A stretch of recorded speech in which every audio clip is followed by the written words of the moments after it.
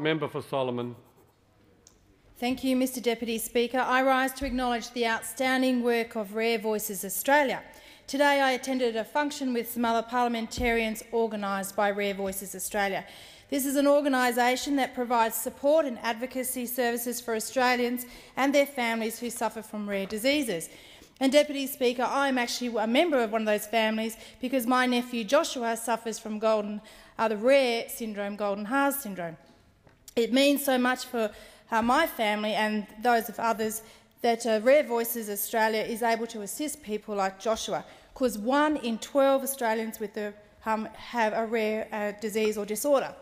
It's so important that we stand up and support those vulnerable members of our community. Professor Barney Glover, who's the Vice-Chancellor of the Northern Territory's Charles Darwin University, also attended the function and actually asked me to be an advocate for rare voices in the Northern Territory. Professor uh, Glover is an avid advocate for those with rare diseases because he was also personally touched. Um, sadly, he lost his grandson Tate to Alpers syndrome. And I know he joins with me today as I call on the Parliament uh, to continue to support the extraordinary work of Rare Voices Australia and their advocacy for Australians suffering from rare diseases and disorders. Thank you, Mr Deputy Speaker.